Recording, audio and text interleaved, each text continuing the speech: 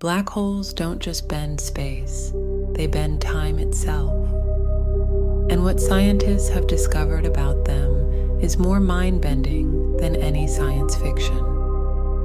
According to physicist Kip Thorne's calculations, if you were to orbit a black hole at just the right distance, time would pass dramatically differently for you.